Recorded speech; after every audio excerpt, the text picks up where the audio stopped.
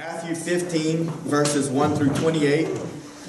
I titled this morning's message Inside Out. I actually kind of changed it a couple of times, but essentially what's going to happen is, is that in this, these passages of Scripture, we're going to observe a comparison and a contrast that's going to take place between uh, Canaanite woman and also uh, the religious leaders of Israel, which were we we've grown to know them as the Pharisees. and certainly there were the Sadducees also, but we speak mostly about the Pharisees. But the specific observation that we should note is that there's a focus taking place on actions, and there are times that we can see certain things going on on the outside, but sometimes what we see can be deceptive, right? If we look closely from a spiritual perspective, we will learn, uh, we can learn that what we see outwardly is a reflection of what's really going on inwardly. So I'm talking about inside out. What's going on the inside is manifest outside, right? Uh, sometimes it's easier to see than other times. Uh, I guess you could also look at it as possibly the fact of a spiritual MRI, if there were such a thing, that we could take a peek on the inside. But so that's really the underlying theme of what of what really stood out to me with this passage of scripture. I don't know that everything that I'm going to talk about will be directly related back to that, but um, before we get started, I'm just going to draw our little map up here that I normally draw because it has to do just a little bit having to do with location. I usually don't extend the map up this far, but uh, you know the Sea of Galilee and uh, the Jordan River going into the Dead Sea. There's an area here called the land of Gennesaret. That was another name for um, for the, the Sea of Galilee, the Lake of Gennesaret. And essentially, that's where this particular passage starts off. Is that Jesus, after performing a miracle, he crosses over the lake or the Sea of Galilee, and he's in the land of Gennesaret, and this is where this takes place. So it says in chapter 15, Matthew 15, starting at verse 1, and we'll read all the way through 28. It says, Then came Jesus, then came to Jesus scribes and Pharisees which were of Jerusalem. So we see already that the conflict that's about to start is that these Pharisees are purposefully coming to Jerusalem to ask some questions. They're here to interrogate Jesus about some things that are going on. And this is what they say Why do your disciples transgress the tradition of the elders? It's important that we see that, that they're focused on the tradition of the elders, right? For they wash not their hands when they eat bread. But he answered and said unto them, Why do you also transgress the commandment of God by your tradition. Well, I like that right there. You know, sometimes whenever people confront us about particular things in our life, you know, one of the things that I've learned about Jesus, because it's an area of my life that I don't really accomplish very often, is that when people come against me, I have a tendency to, to come back. You know what I'm saying? To give them a what for. And, you know, Jesus did a good job a lot of times of really being quiet, especially at the most important time when they were bringing him to the cross. The Bible prophesied in Isaiah that like a lamb he opened not his mouth as he was led to the slaughter. He, he didn't try to defend himself. He didn't come against the accusations that were being spoken of against him. At the same time jesus didn't just let people go around uh, acting or pretending like they were always right and never correcting particular situations yeah. and we see this situation taking place right now where they're wanting to know why he's transgressing the tradition of the elders. He's like, well, hold on a second. Before we get into that, let me ask you a question. Why are you transgressing the commandment of God? You're worried about the tradition of the elders, which we'll get into a little bit more to explain that, but you're breaking the law of God. And then he goes on to explain that. He says, For God commanded, saying, Honor your father and mother, and he that curses father or mother, let him die the death. So he's talking out of Exodus there, out of the, one of the commandments where it says to honor your father and your mother, and that there were, you know, the, the result or the penalty of the, not honoring or cursing father or mother was that they would be stoned to death. I mean, there's episodes in the Old Testament where that literally took place. I mean, uh, and so, you know, that's what Jesus is talking about right there. So he goes on to say, But you say, Whosoever shall say to his father or his mother, it is a gift, and we'll explain that a little bit more. In the book of Mark, it uses the word Corban right there, which is descriptive of a gift that's given to the treasury of the temple, or, or for our purposes, we could say the church. So, so you could offer up a gift to be given to the church or the temple, and we'll explain because what Jesus is doing here is he's getting into the motives of people's hearts. Amen. Amen. And, and that's what he's he's doing. He's exposing what's on the inside. But you say, whoever shall uh, get, say to his father or his mother is a gift, by whatsoever you might as be profited by me, and not honor his father or his mother, he shall be free. Thus have you made the commandment of God of none effect by your tradition. So essentially, what's going on here, let me just explain to you real quick, is that there's something maybe that the mother or the father need. But what they're saying is, oh, uh, it's Corban. What you need right there is Corban. It's a gift that's been vowed to the temple. And so the idea is, is that if they vowed it to the temple, they could really hold on to it until they gave it to the temple, if they were really going to ever give it to the temple. And so by doing that, then basically they've freed themselves from, from having to take care of their duties or obligations that the law required that they would honor their mother or their father. Thus you have made the commandment of God of none effect by your tradition, you hypocrites. Well did Isaiah prophesy of you, saying, This people draw near me unto me with their mouth, and they honor me with their lips, but their heart is far from me. But in vain they do worship me, teaching for doctrines the commandments of men. And he called the multitude and said unto them, Hear and understand. Not that which goes into the mouth defiles a man, but that which comes out of the mouth. This defiles a man. Then came his disciples and said unto him, Knowest thou that the Pharisees were offended after they heard this saying? But he answered and said, Every plant which my heavenly Father has not planted shall be rooted up. Let them alone. They be blind leaders of the blind, and if the blind lead the blind, both shall fall into the ditch. You know, I didn't really put this in my notes to talk about it a whole lot, but I was reading it again this morning and it stuck out to me that his disciples came to him and said, Don't you see that the Pharisees were offended? I'm pretty sure Jesus was perceptive enough to, that if they noticed it, that, that he also noticed that while he was saying what he was saying, because you know, one of the things that we have to remember, and, and, this is just to be fair to all of us, is that whenever we're told something that is true, okay, we don't necessarily like it if it's, if it's exposing or revealing something that's on the inside of us. We don't like it, and, and, and it, and it can sometimes can offend us. We have to learn the difference between the conviction of the Holy Spirit and the condemnation of the enemy, right? Sometimes, you know, listen, if somebody's trying to share something with you or speak truth to you about something to, to try to help you in the midst of your life, amen, and, and that and the Holy Spirit will use that to convict you, to show you something that's going that's a good thing. That's that's a beneficial thing, right? At the same time, people can oftentimes be used by the enemy things that they speak. It might be true, but they're doing it in a harsh way, sometimes even to hurt you. And the enemy will be more than happy to use that as fuel to stoke a fire of condemnation, to cause an oppression to take place on you. So you have to just notice the difference. And it doesn't mean that people are always purposefully trying to condemn, you know, whatever. The Lord will help you figure that out. But one of the things that I will tell you is that just because sometimes when you hear something, if it's true, and you feel bad about it, it doesn't mean that it wasn't the Lord. It doesn't mean that the Lord didn't want you to feel bad about it. And you might get offended, but guess what? Sometimes the truth offends us. Uh, amen. And, but, but God is trying, wanting to use it to reveal something that's on the inside. All right.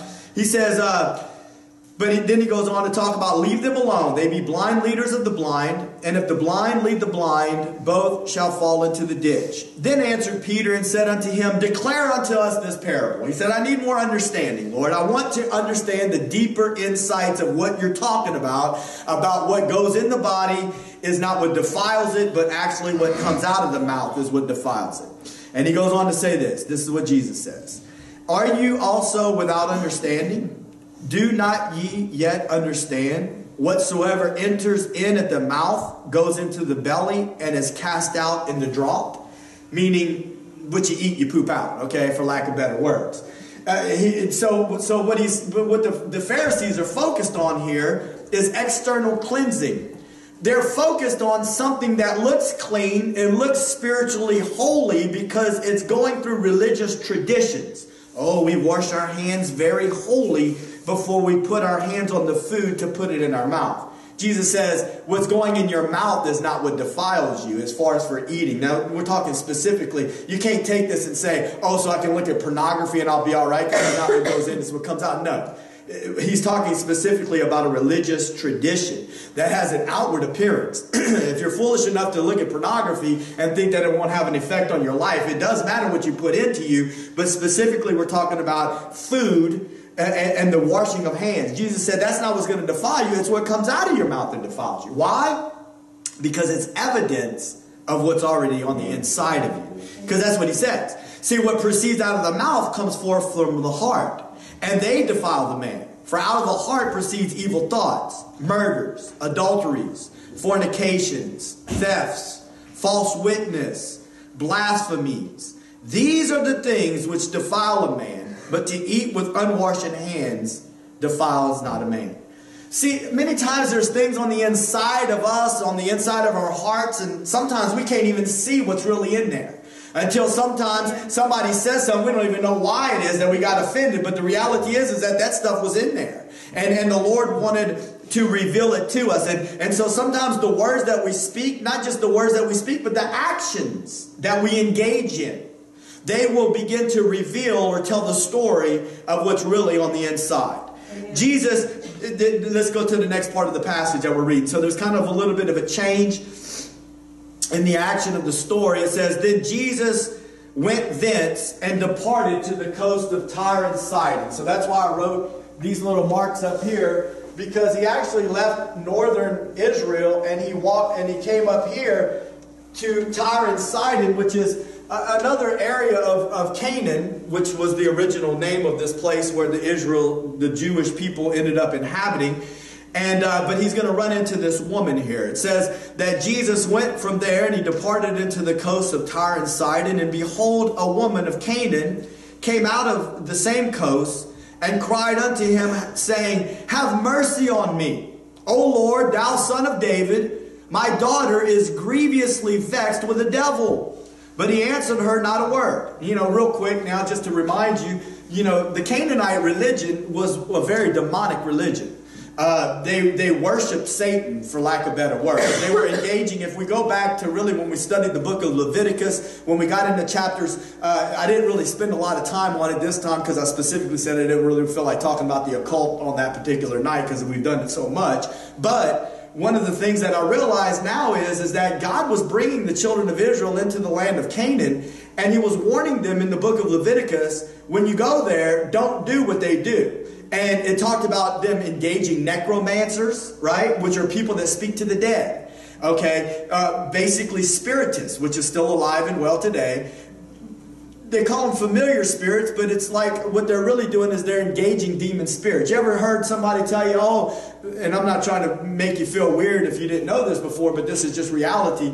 Sometimes, whenever people die, especially people that are in the Catholic religion, they'll feel like they saw their loved one later on. Oh, I saw such and such. That, and, and I've had to say this to people before, and I tried to do it as sweet and as kind as I could. I can't tell you there were never times I kept my mouth shut, but I've had to tell, but I have said to before, you know, another way to look at that is because, see, the Bible says that to be absent from the you know, to be absent from the bodies to be present with the Lord. So we're either going to be with the Lord if we're believers or we're not with the Lord.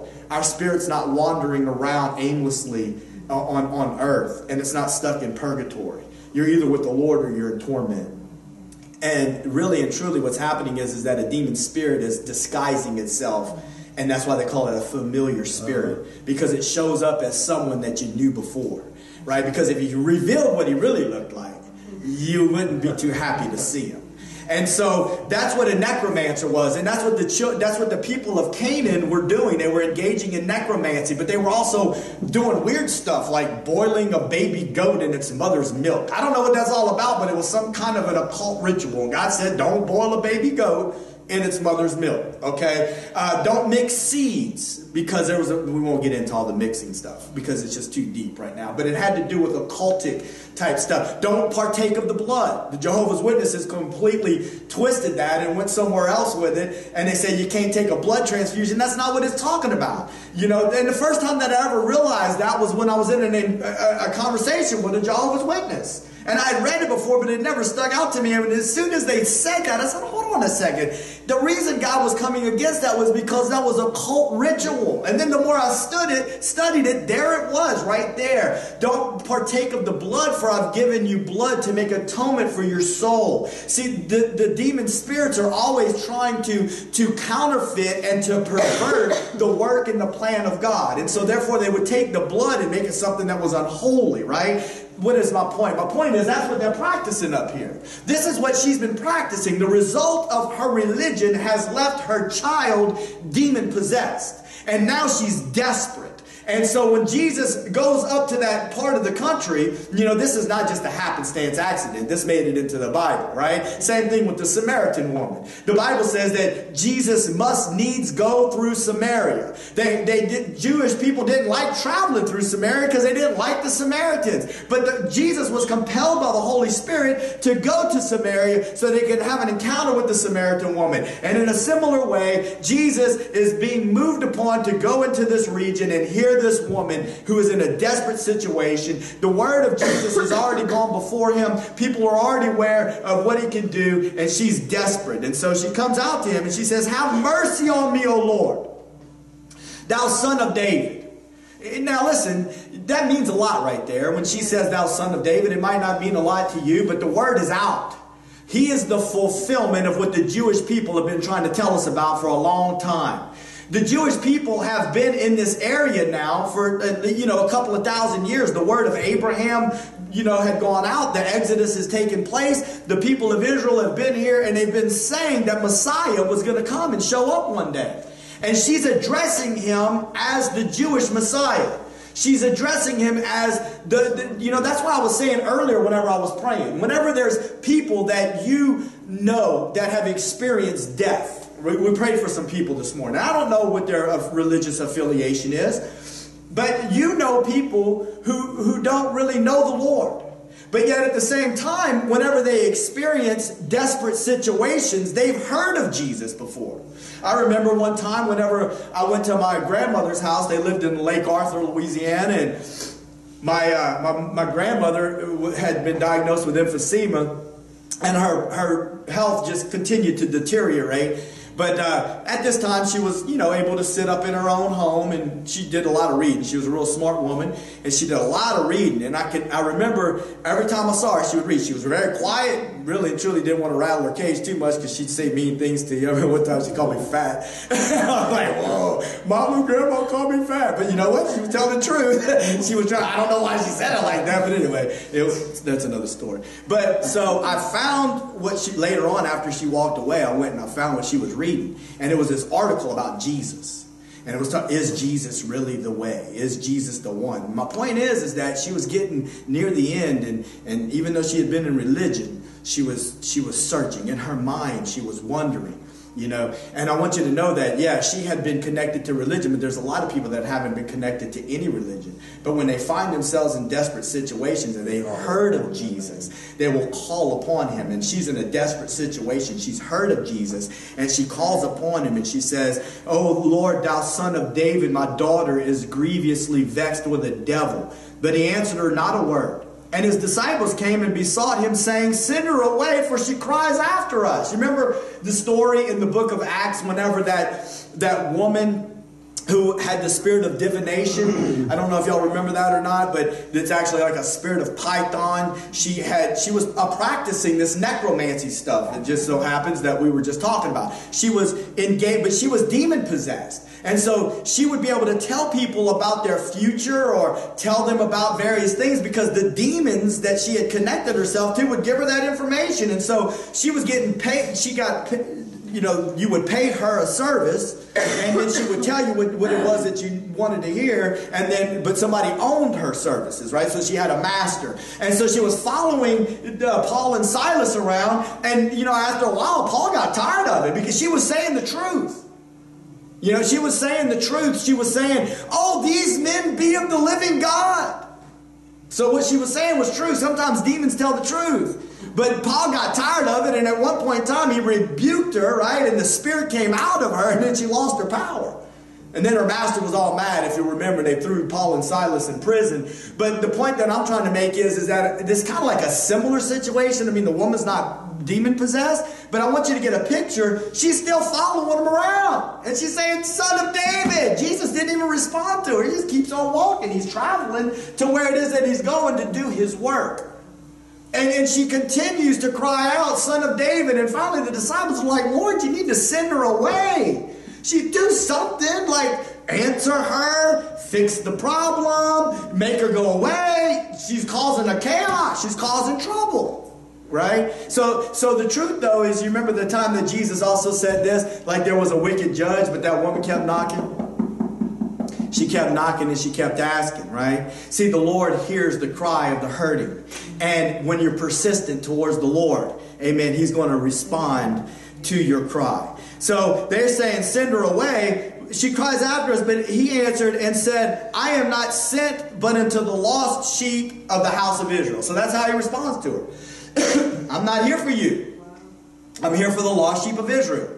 Now we're going to break this down a little bit because I always really perceived this the wrong way. And as we keep going, it seems even worse, worser if it could be a word, that Jesus almost seems like he's getting downright mean towards her. Okay, but we'll, we'll see. Uh, Jesus is never really mean, right? He might, he might poke those Pharisees in the eye, but he's not going to do that to this woman.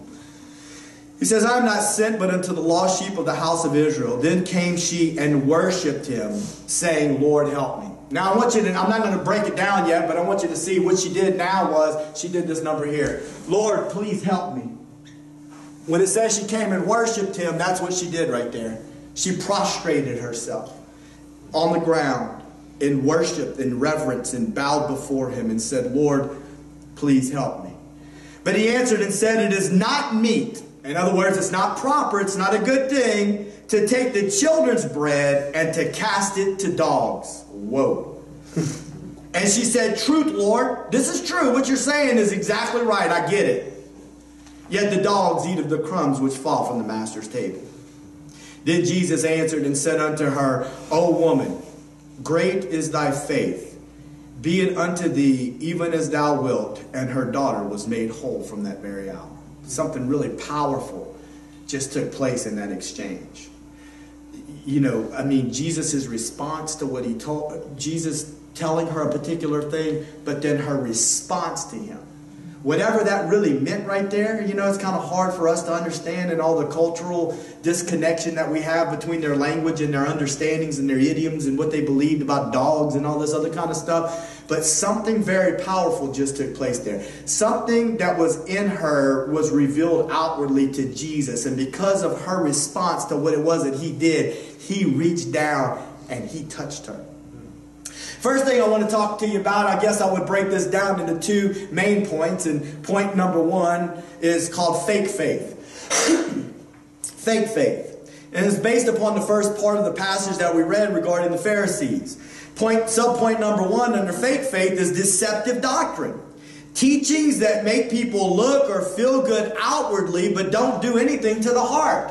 You hear, you hear what I'm saying? Deceptive doctrine teaches people that it's, that it's important for things to look good on the outside, but it doesn't really do anything to the inside of the heart to cause a real change of anything. I know that there's a scripture that we used a while back where I, in Isaiah, and, and I mentioned it to you that there was a guy that sung the song, and he and he said he, he said don't he said uh, he talked about rending your heart.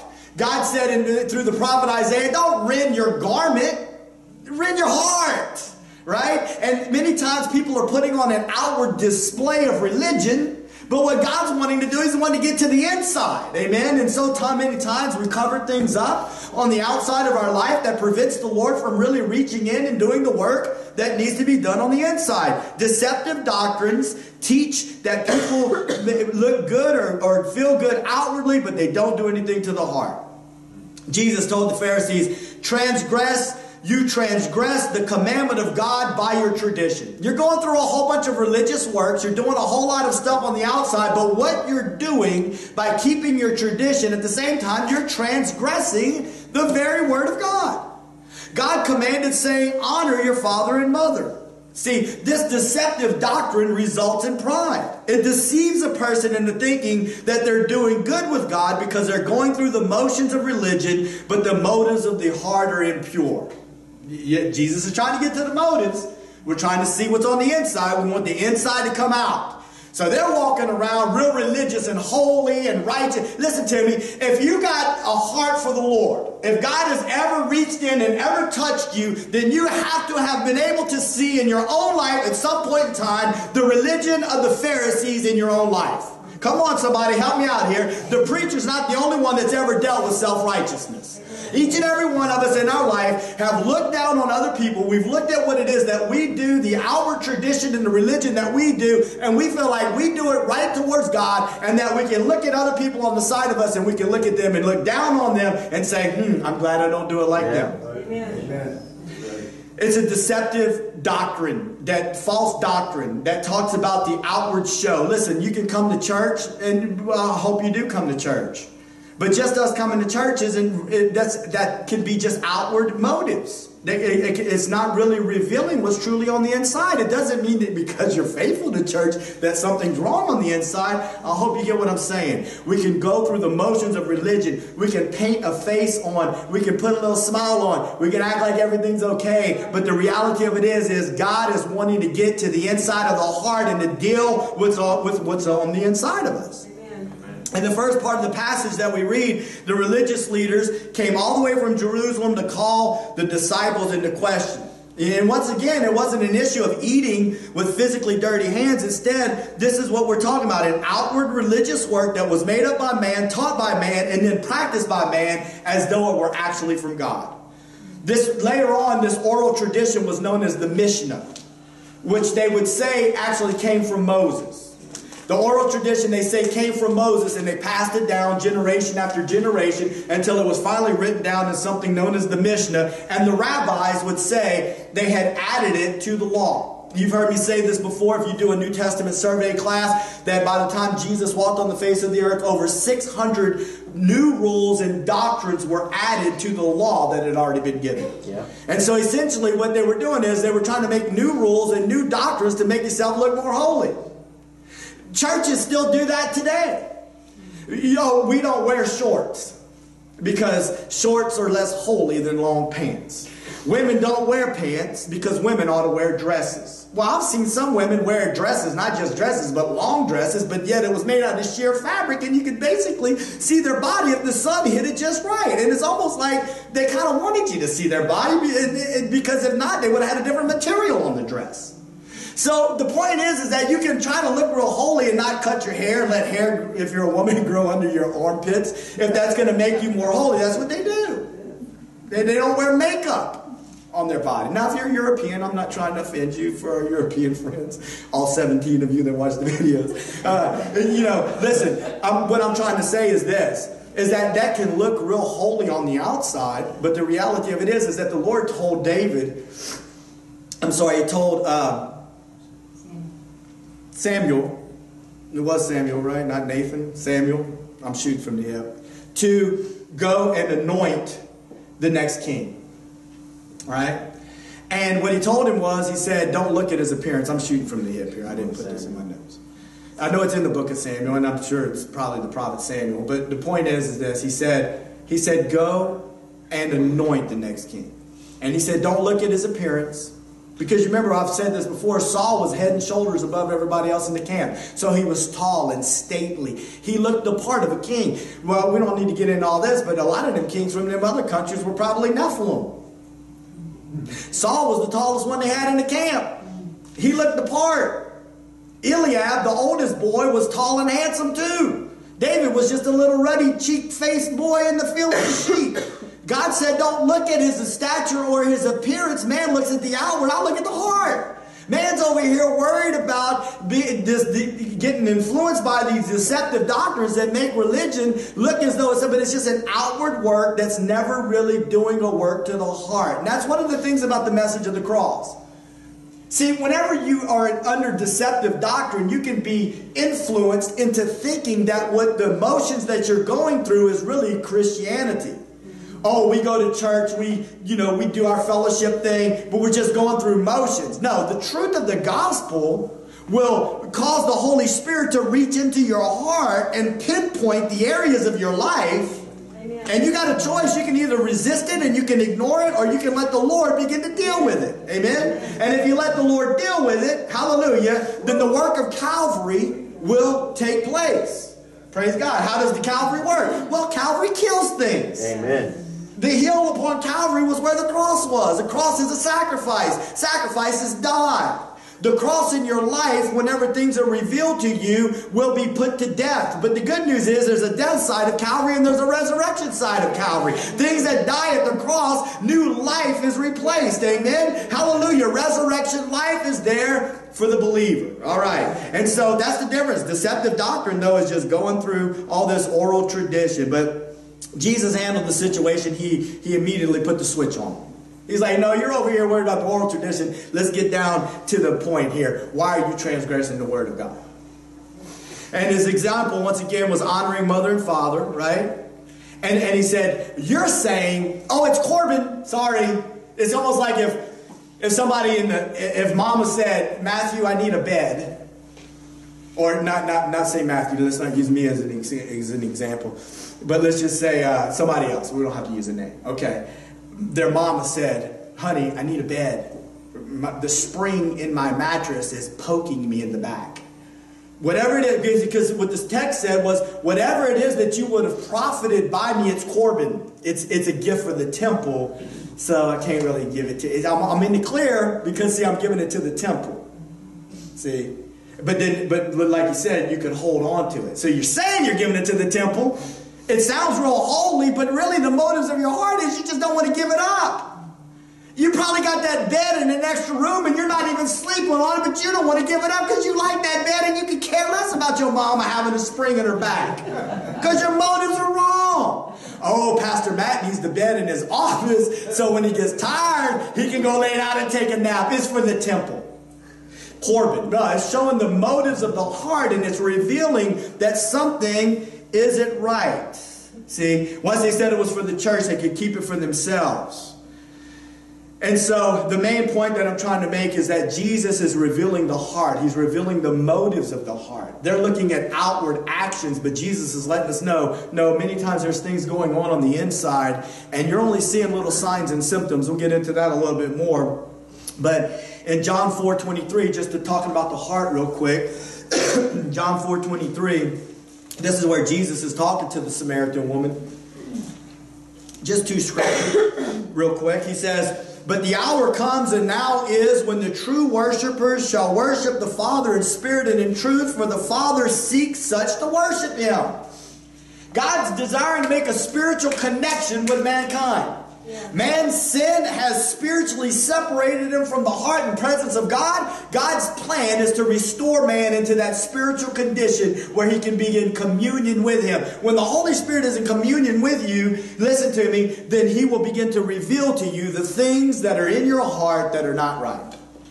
Psalm 51 6. Behold, you desire truth in the inward parts, and in the hidden part you shall make me to know wisdom. This is, this is David after he sinned with Bathsheba. And he's crying out to the Lord. He's saying, Lord, I need you to change me. I need you to do a work on the inside of me. I know what you want. What you want is truth on the inward parts, my spirit man. You want me to come clean with you. You don't want me hiding the motives Amen. of my heart and pretending that everything's okay. You want me to let it out and you want me to allow it to be exposed to you, Lord, so that you can deal with it.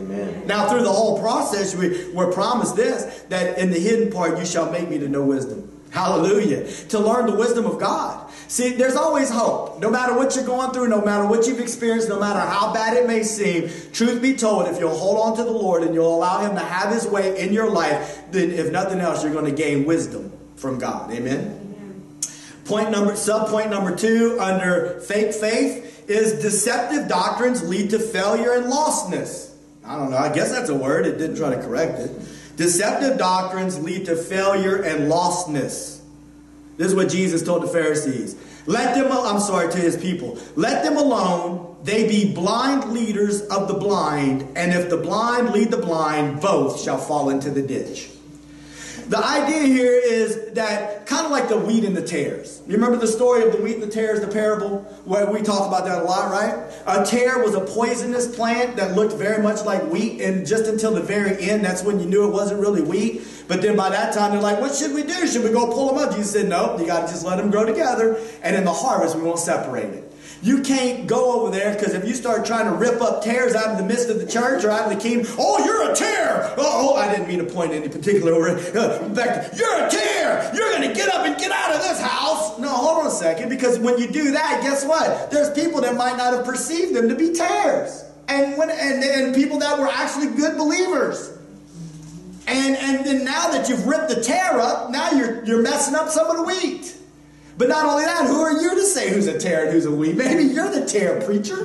Maybe you need to get uprooted and get out of here, right? The point that I'm trying to make is, is that it's the Holy Spirit's work and it's the Holy Spirit's job that discerns all of that. And on the day of harvest, He's the one that's going to sort it all out. Amen?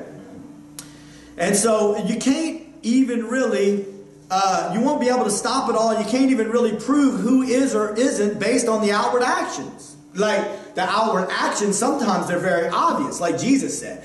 Out of what, what comes out of the mouth is what defiles a man. Sometimes it's real obvious. Sometimes it's not that obvious. Many times all you see are little signs and symptoms that tell a bigger story. I mean, I, sometimes you, you sometimes you'll just be talking to somebody and the least little thing that they say or the way they respond to a particular thing, it's like you get a check in your spirit. Mm-hmm. Something's not right with that but it's not really enough evidence to really write them off. Say, to write them off and to say that they're a tare. Okay, uh, you know it's kind of like in it's similar to medicine is how I would look at it.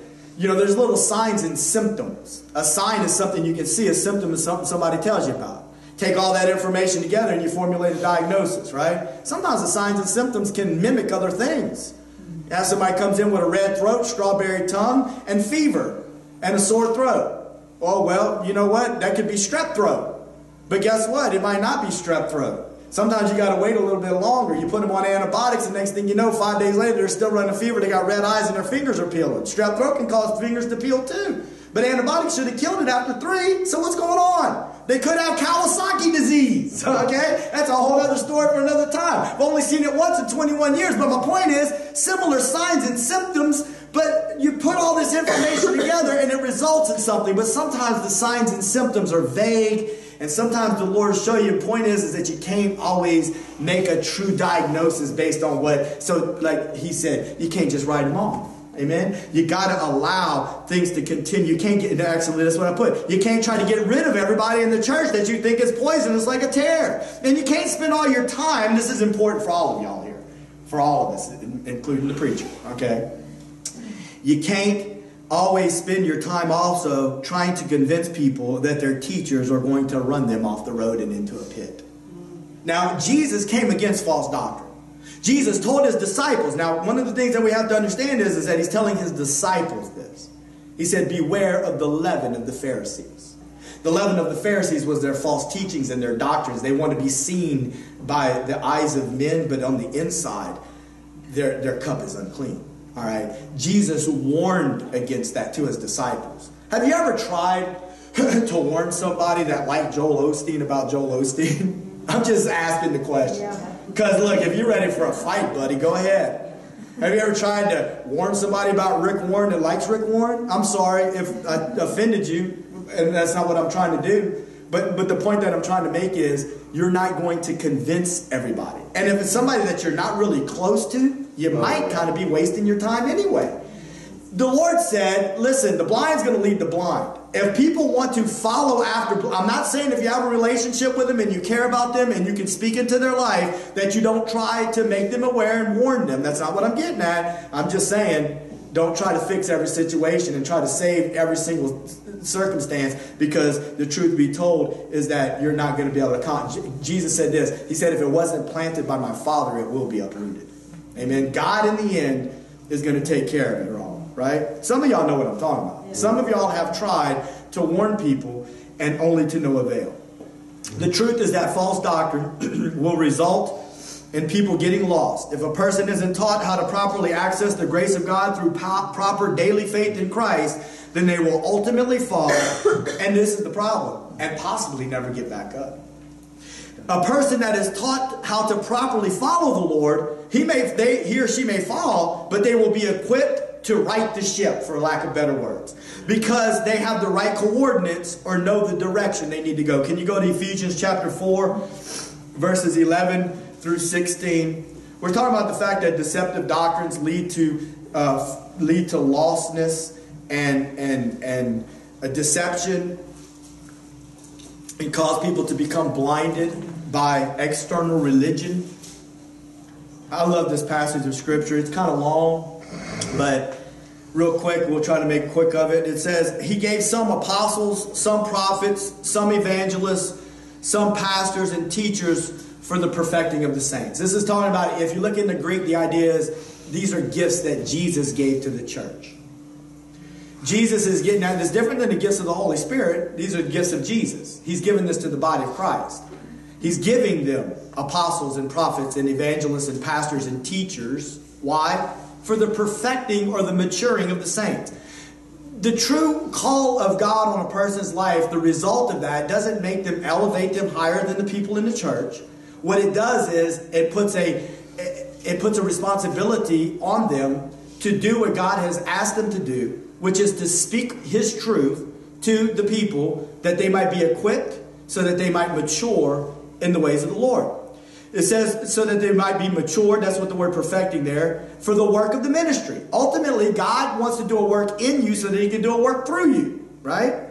For the edifying of the body of Christ. It means the building up. It's like the body of Christ would be like a building, and there's work, architectural work, It's actually an architectural term from what I, I remember studying a long time ago, and it's being built up.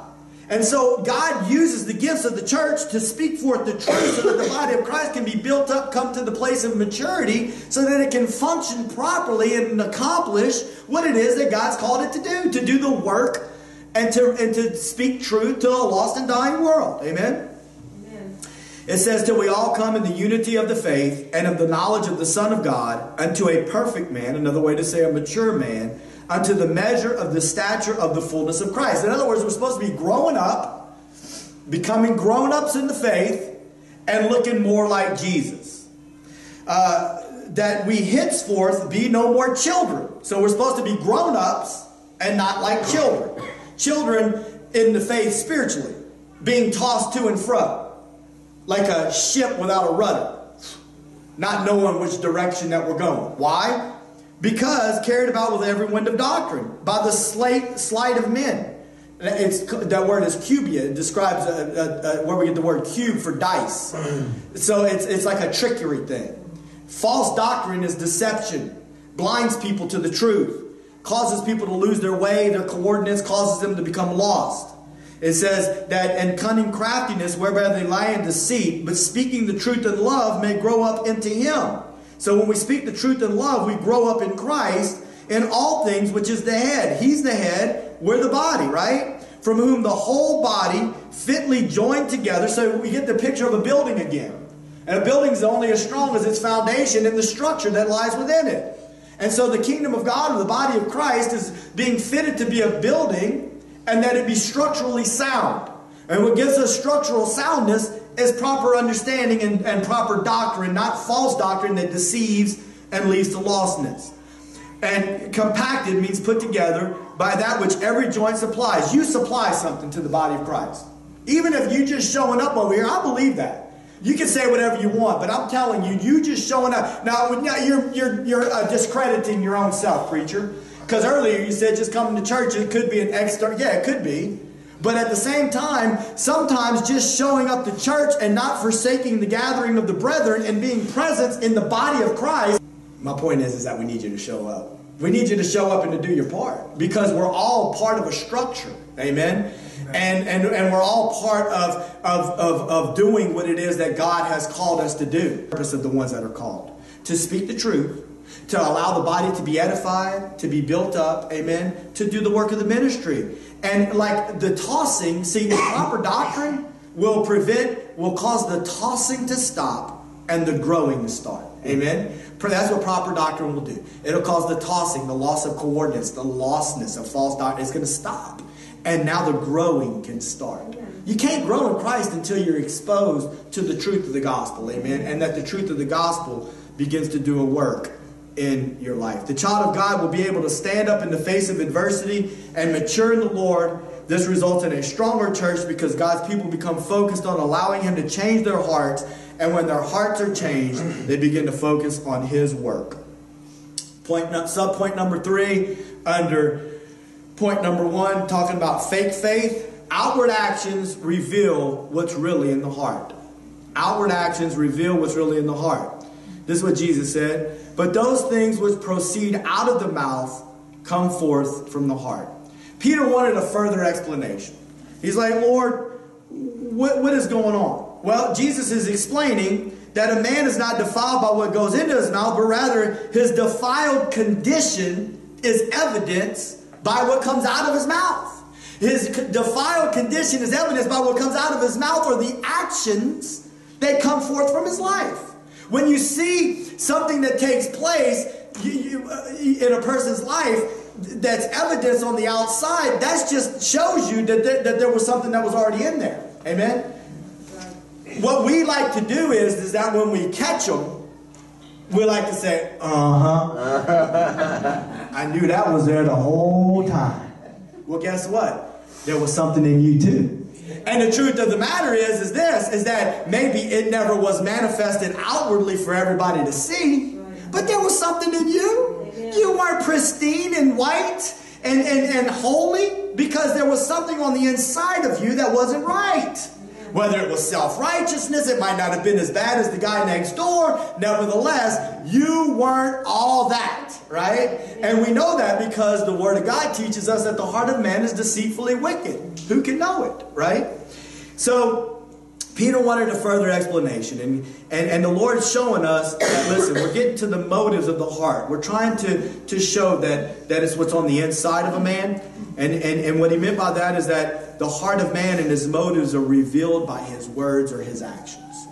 Once again, sometimes it's hard to tell because you might just get a little snippet. You might just see a little something, something. It's like, man, something just doesn't feel right about that, but I can't put my finger on it. But sometimes it's real obvious. But this is what James said, James 1:13 through 15. he said, Let no man, James 1, 13 through 15, let no man say when he is tempted, so the word tempted there also can mean to be put to the test. I am tempted of God. God does allow tests to take place in our life, but God never puts evil in our life. God will allow the enemy to set a trap, but it's not God setting the trap, it's the enemy that he's giving leeway to set the trap. Okay? And so he says, don't, don't say that God did it, because God cannot be tempted with evil, evil, neither tempts he any man. But every man is tempted when he is drawn away of his own lust, his own lust. He owns it. The word lust means desire. It's a, it's a deep craving for something. It can be a deep craving for something good. You can lust after the Lord, or it can be a deep craving for something bad. But the point is, is that it was your lust. It was already on the inside of you. It was there, right? And when he is drawn away of his own lust and enticed, so there's the there's the bait. It's enticing you. Then when lust has conceived, it brings forth sin, and sin, when it is finished, brings forth death. The word conceived there literally means to be imprisoned.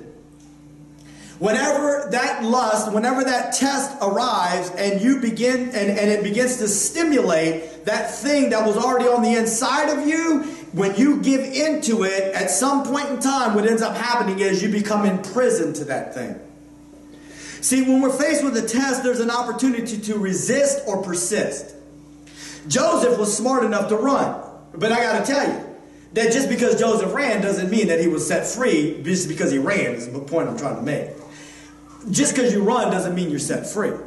Only the Lord can truly set you free. Amen? I'm not, what I know Aaron was talking about this the last time he was in. Just because you run, in other words, he said Joseph had to have run to the Lord to say, because listen, I don't know what Potiphar's wife looked like. Look, if she wasn't pretty, it might have been easy. Take off running, dude. I ain't never coming back to that place again. That woman crazy. But if she was, if she was pretty, or if there was something connected to her that made Joseph want her, he might have run five miles down the road. But in his mind, the enemy would use that to work on him to try to get him to go back, right? And and so, but so there's a time to resist or persist. But if you stay in contact long enough with something that your heart desires, at some point lust is conceived. Once again, the word there literally means to be ensnared or to be imprisoned. And now you can have fun because it never ends up the way that you expected that it would. It never finishes the way you envisioned it in your mind. All right? So those were the three points to point number one, which was fake faith. Now we're going to point number two, which is the main point number two, which is true faith. In the next part of the chapter, Jesus moved northward and crossed the path of that Syrophoenician or Canaanite woman. If you look at two different, the gospel, there's different gospels that talk about this particular story. It's the same story. One gospel calls it the Canaanite woman, one a Syrophoenician woman, which is that area. She was of the offspring of these people. We already talked about the fact that she was in a desperate situation because her previous practices, the text doesn't tell us that, but if you know the history of it, her previous religious practices have caused her daughter to become demon possessed. So there's one thing that we're talking about actions, right? We're talking about inside out. We're talking about a spiritual MRI. What we saw from the Pharisees was that externally they're trying to look holy and religious, but internally their motives are dirty and impure. And now we're looking at true faith. And point number one under true faith is that true faith is often desperate. she cries out, Have mercy on me. And the Lord responds, I am not sent but unto the lost sheep of the house of Israel. Then came she and worshiped him, saying, Lord, help me. So, the, so, so she hears the words that Jesus says, but she said, I'm not quitting. I'm not giving up. I'm not going to stay in this particular situation. I'm Amen. desperate. My daughter's in a bind. I need the Lord to reach down and to touch this particular situation. She laid down, she prostrated herself, and she began to worship him. Amen. She, the, the disciples had made her feel like she was a nuisance. Some people would try to tell her that she wasn't worthy of the Lord's time, right? And even some of what he said may be perceived that way, but she wasn't discouraged enough by what she said to turn around and to leave. Instead, it made her press in even more, right? And even when it seemed like maybe Jesus wouldn't answer, she persisted. The word worship there is proskuneo. It means to prostrate oneself. But listen to this. I was thinking after I started studying this, I wonder if I wonder if it's her actions that caused Jesus to now go into the words that he said. Because the word in the Greek language, what it literally meant was like a dog licking the hand of its master. It's like, I know that that sounds kind of like crazy, but that word worship that's translated in the New Testament time and again is descriptive of a dog licking its master's hand. It's almost like, and I know sometimes that's hard for us to, to come to realization with because nobody wants to be considered a dog like licking its master's hand. But what, if you can imagine a good dog that loves its master and it's sitting there at its master's side and it's sitting crouched in a position and it's just waiting for its master to tell it what to do, and it loves its master so much that it's licking its hand, right? And that's really the idea. It's, it's a, a dog doesn't know any better because, I mean, you know, half the time its masters aren't really all that, but, but a dog doesn't know any better, it just loves its master, right? And so a person that's, things may not always be going right in their life. Sometimes situations are desperate. But this particular situation, he, he adores his master he lays him, his life down for his master. He waits to hear the words of his master. Psalm church, uh, so we're talking about desperate faith. Psalm 34 18. It says, The Lord is near unto them that are of a broken heart and saves such as be of a contrite spirit. The word contrite literally means to be ground up like dust broken and ground up. She's desperate and she's crying out to the Lord, and her actions are showing what it is that's going on in her life. Let's look at Psalm 51 17. Same psalm, David writing again after the situation. It says, The sacrifices of God. You want to give a sacrifice to the Lord? This is what the psalmist has come to the realization. You want to give a sacrifice to the Lord? This is what you do. He says, A broken spirit, a broken and a contrite heart, O God, you will not despise. God is looking, his eyes roam to and fro upon the earth, looking for a broken and a contrite spirit. The Word of God says that he won't despise it. That's different. Her, what's being manifested or being shown outwardly in her life is different than what's being manifested by the Pharisees. You see this. The actions of the Pharisees are external. What's going on is that she's desperate from her heart. That was point number one. Subpoint number one. Subpoint number two is true faith is willing to accept God's will and not its own. That was worth, hey, that right there was worth repeating. True faith is willing to accept God's will and not its own.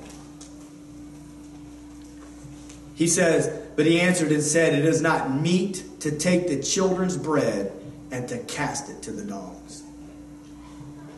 And she said, Truth, Lord What you said is true. Yet the dogs eat of the crumbs which fall from their master's table. Truth be told, she was never going to sit at the table. She was never going to sit at the table, but she could eat the crumbs. Well, that's a fine how do you do? Exclamation point.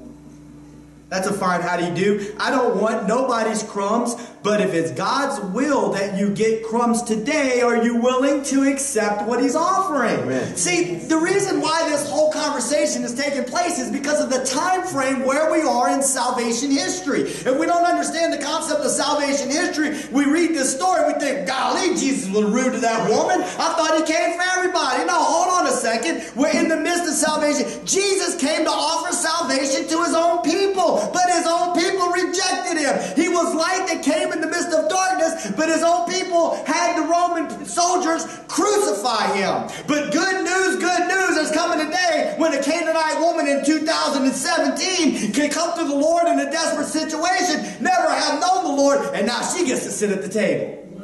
This woman right here ain't never going to get to sit at the table. It just happens to be where she is in the time frame of history. Okay, but let's look a little bit closer. She was never going to sit, but the question is, are you willing to accept what he's offering today? See, for a long time, I really misunderstood this passage of scripture. I knew that it wasn't what it seemed like. I knew that Jesus wasn't just being mean to this woman. I knew that because I know, I know, I don't know everything about the Lord, but I know a little enough about the Lord to know that He's gracious and He's kind and He's merciful and He's true. And the only people that He ever really picked on, if you want to call it that, was those religious people that thought that they had it figured out. The Lord was always about the people that were broken and hurt right? There's different words for dog in the Greek language. And, and the Jewish people had some really negative views about dogs. Here's some scriptures that talk about that. Matthew 7 6. In Matthew 7 6, it says, Give not that which is holy to the dogs, neither cast ye your pearls before swine, lest they trample them under their feet and turn again and rend you. I don't want to spend too much time on this, but we've talked about what the swine is like. Right? if you try to throw pearls in a pig pen, what is a pig going to do with pearls? He's just going to stomp that stuff in the mud and, and just look and look for some food that he can eat, right? Stick his snout back up in the slop. You don't cast pearls before a swine. Jesus said that. Same thing with the dogs, because they're dirty. Dogs are dirty. You get the picture, as, as we continue to read these scriptures, you need to get a picture of this old mangy mutt it's got some old coarse, nasty hair with some bald spots on it, just running around, looking around, looking for something that it can scavenge and some scraps that it can get. Because that's the idea we're talking about here. Luke 16, 19 through 21. We're talking about here the prodigal son. No, I'm sorry, not the prodigal son. We're talking about Lazarus. There was a certain rich man which was clothed in purple and fine linen and fared sumptuously every day. And there was a certain beggar named Lazarus which was laid at his gate, full of sores, desiring to be fed with the crumbs which fell from the rich man's table. Moreover, the dogs came and licked his sores. That's kind of gross, huh? He's just sitting there. He's all messed up. He's got sores all over his body. One of these mangy mutts that's just running around. Because this is what this is one of the words for dog that's like talking about something dirty, and just runs up there and it's like I don't know, maybe the dog had some compassion, but you get the point. It's a, talking about a dirty. Look, this, this one's more clear right here. Philippians 3 2.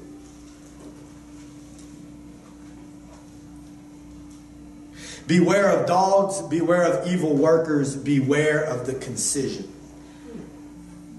The Apostle Paul is doing a play on words in the Greek language here because concision means mutilator and he's comparing it to circumcision.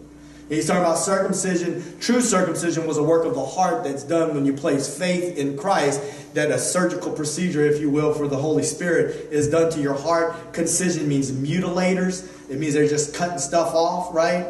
Because it was a work of the flesh. But, but he's comparing them to dogs. Now, this word dog right here that we just read, all of them, metaphorically, it means a man of an impure mind.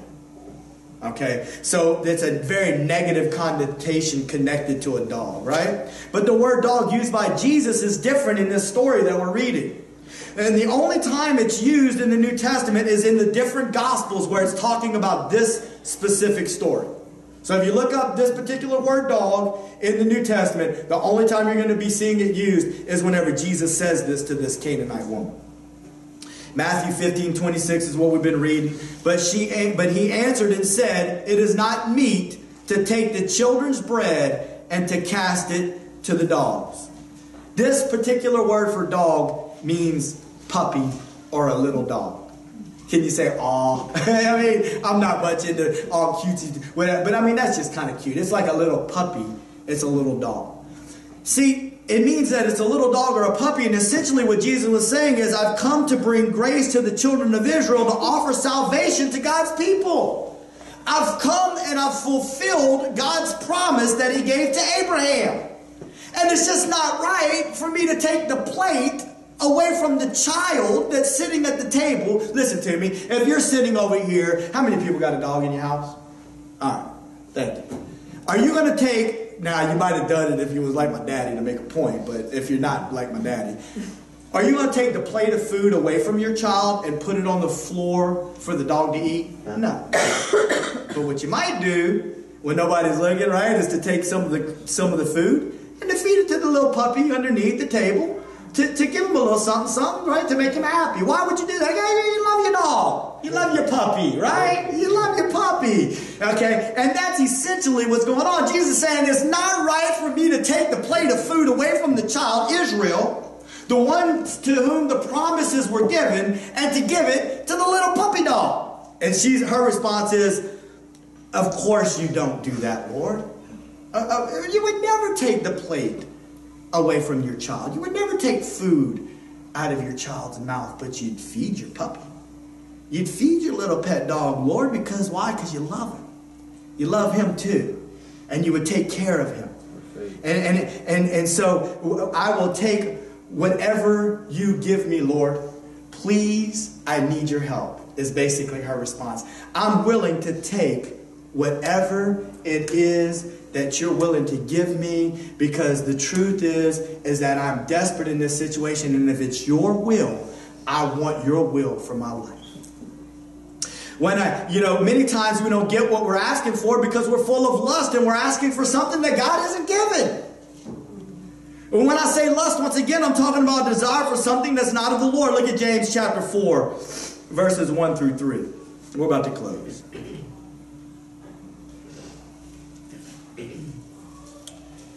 He says, From where do wars and fightings come from amongst you? Come they not here? This place I'm about to tell you. Even of your lusts.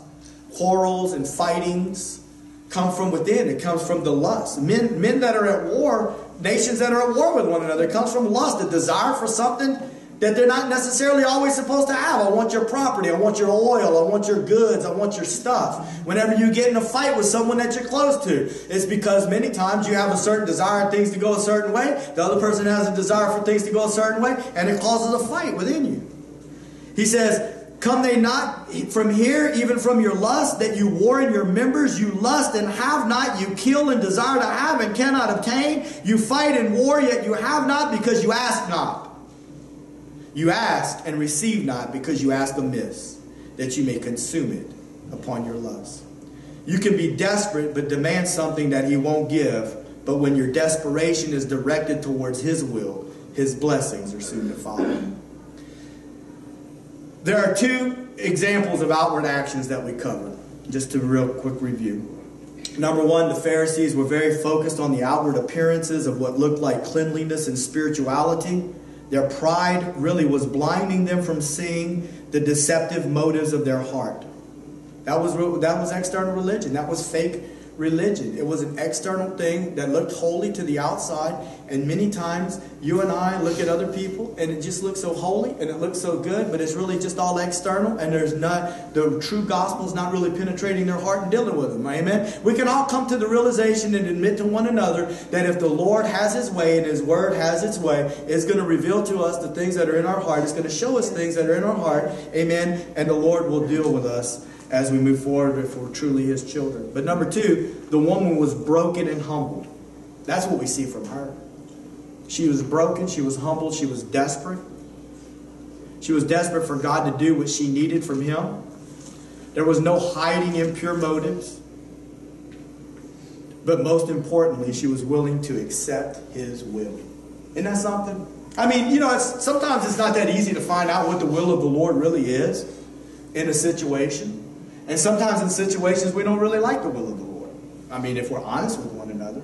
I mean, we don't like it right now. But she wasn't demanding that she get what she wanted. No, Lord, I got it right. I mean, you talk to a New Testament Christian today, they're like, man, I'm a king's kid. I'm ready to sit at the table. Well, maybe you, but what about her? She was, she was willing to receive what the Lord was offering. Amen.